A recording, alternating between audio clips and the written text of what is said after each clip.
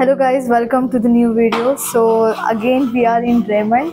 So this is 2 bhk in Raymond. Uh, यहाँ पे आज हम लोग देखने वाले हैं पूरा होम टूर जहाँ पे कारपेंट्री काम चालू है। सो लॉट्स ऑफ़ पैनलिंग बहुत कुछ यहाँ पे uh, आपको पैनलिंग का टाइप देखने मिलेगा so yes start the video तो बेसिकली अभी मैं जहाँ पे खड़ी हूँ वो है एंट्रेंस सो एंट्रेंस में आप देख सकते हो एक छोटा सा फॉयर एरिया है। सो वहाँ पे हम लोग ने यहाँ पे स्टोरेज बना है so you can see the corners क्योंकि ये बहुत एग्जैक्टली uh, एंट्रेंस पे ही आ रहा है। सो शार्प एजेस को कवर करने के लिए यहाँ पे हम लोग ने ये एजेस को राउंड किया है। uh, यहाँ पे एक वुडन रॉड आने वाला है to give that aesthetic look and yes now you are thinking कि ये डोर तो हाफ़ ओपन हो रहा है।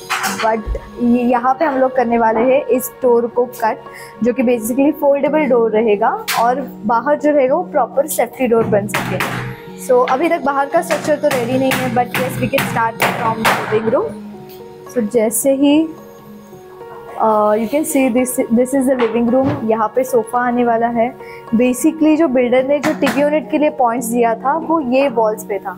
सो अकॉर्डिंग टू द जो सीटिंग लेआउट है उसके अकॉर्डिंग अभी यहाँ पे सोफ़ा uh, का पोजीशन ये वॉल पे है और जस्ट उसके अपोजिट वॉल पे हम लोग अभी T unit plan so yes this is the sofa wall and ये जो कंप्लीट वॉल है नाउ अगेन पैनलिंग हो रहा है। यहाँ पे फोल्डेबल डाइनिंग टेबल बनने वाला है which is vertical foldable dining table इसका साइज़ रहने वाला है three by four point five feet so yes ये पूरा वॉल डाइनिंग के लिए डेडिकेट हुआ है। वहाँ पे विंडो सेक्शन है दिस इज़ डोर्स का बेसिकली सेक्शन है। इधर भी पैनलिंग होने वाला है बिकॉज़ स्लाइडिंग डोर्स आ रहे हैं या फिर ऊपर कर्टन का पेलमेट हो।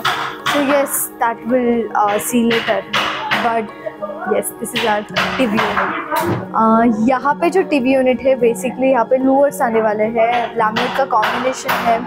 Uh, जो इनसाइड को होता है उसका भी डिटेल आप यहाँ पे देख सकते हो। तो बेसिकली यहाँ पे लाइट लगेगा जो अंदर के लैमिनेट को ग्लो आउट करेगा। So yes this is basically the entire TV unit wall और जस्ट उसके सेंटर में आप देख सकते हो एसी का जो भी पोजीशन है, उसका पाइपिंग वगैरह, वो सब काम हो चुका है। सो लिविंग रूम के जस्ट बाद ही यहाँ पे है किचन सो किचन में आप देख सकते हो मार्किंग हो चुका है. So yes it is in progress now फिर move on to the kids bedroom so kids bedroom में बेसिकली यहाँ पे स्लाइडिंग पार्टीशन बाहर की तरफ़ से आने वाले हैं तो उसकी वजह से यहाँ पे पैकिंग वगैरह हुआ है। Now this is very interesting room because ये रूम ज़्यादा बड़ा नहीं है बट uh, ऑब्वियस ये uh, छोटा रूम है जो पूरा अपार्टमेंट है उसका। यहाँ पे बेसिकली टू सेक्शन में हम लोग इस एरिया को डिवाइड कर रहे हैं। एक है किड्स बेडरूम के लिए सेक्शन और एक है मंदिर के लिए। अभी मैं आपको एक्सप्लेन करती हूँ ये क्या स्ट्रक्चर है। तो बेसिकली यहाँ पे पैनलिंग हुआ है। ये कंप्लीट बेड के लिए वॉल डेडिकेट किया नीचे जो है वो सोफ़ा कम है which is six by six point five feet और ऊपर जो है वो six point five by three feet का प्रॉपर बंक बेड आएगा। और उसका जो स्टेयर केस है वो जस्ट यहीं से ही उसका स्टेयर केस स्टार्ट होगा। सो so, जैसे कि आप देख सकते हो उसका जो फ्रेमिंग है बंक बेड का वो फ्रेमिंग यहाँ पे उसका स्ट्रक्चर रेडी हो रहा है। सो so, यस yes, यहाँ पे उसका स्ट्रक्चर रेडी हो रहा है। सो uh, so, ये पूरा वॉल बेड के लिए है। नाउ दिस एंटायर वॉल जिसमें बेसिकली स्टडी टेबल है उसके ऊपर उसका ओवर स्टोरेज आ रहा है। बाद में uh, जो किड्स uh, बेडरूम के लिए जो वार्ड्रॉप चाहिए या फिर स्टोरेज प्लेस है वो बेसिकली ये uh, दो चीज़ें हैं। दिस इज़ वार्ड्रॉप और यहाँ पे डिस्प्ले यूनिट आ रहा है। सो so, जिसमें नीचे का जो है वो प्रॉपर स्टोरेज है क्लोज स्टोरेज है और ऊपर जो है वो जो भी डिस्प्ले आइटम्स है तो इसमें प्रोफ़ाइल शटर आएगा और वो स्टोरेज दिखेगा। So, आपने देखा किड्स वाला एरिया हम लोग ने किस तरह से डिज़ाइन किया है? Now this is mandir area basically ये जो इंटायर uh, स्पेस है वो वार्ड्रॉप के लिए डेडिकेट डेडिकेटेड स्पेस था which is four point five by almost eight feet but यहाँ पे हम लोग एक मंदिर बना रहे हैं प्रॉपर मंदिर का स्ट्रक्चर रहेगा, जैसे कि उसमें पॉकेट शटर आने वाले हैं विद मतलब वुडन फ्रेम के साथ फ्रूटेड पैनल्स और पीछे पैनलिंग होगा। सो ये सब काम बाकी है but this is the complete कह सकते हो, मंदिर के लिए एरिया डेडिकेट किया है। Now we'll move on to the master bedroom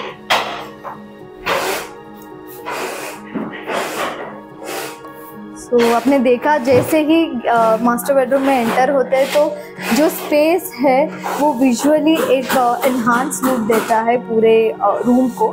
because of this pattern ये पैनलिंग बहुत ह्यूज है। एज़ पर जो बेड यहाँ पे बनाए या फिर जो रूम साइज़ है उसके अकॉर्डिंग सो यस यहाँ पे पैनलिंग के अंदर सेम जो टीवी यूनिट पे आपने डिटेल देखा लाइट के लिए सो बेसिकली यहाँ से पूरा एंटायरली कोव लाइट रहेगा जो स्ट्रिप लाइट है बेसिकली uh, यहाँ पे वॉलपेपर लगने वाला है। uh, जिससे, जिसके लिए ये कंप्लीट बैकग्राउंड क्रिएट किया गया है और ये जो साइड का पोर्शन आप देख रहे हो, वो पूरा लूवर से कवर होने वाला है। एंड यस बेड का स्ट्रक्चर रेडी है एंड साइड टेबल्स रेडी है।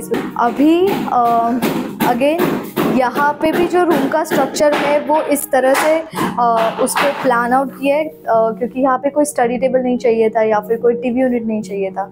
सो कंप्लीट स्टोरेज स्पेस में उन एरियाज़ को यूटिलाइज़ किया है। जैसे कि ये आ, जो बिल्डर ने ऑलरेडी प्रोवाइडेड स्ट्रक्चर था फॉर वार्ड्रॉप सो उसके लिए ये प्रॉपर वार्ड्रॉप का स्ट्रक्चर ऑलरेडी था।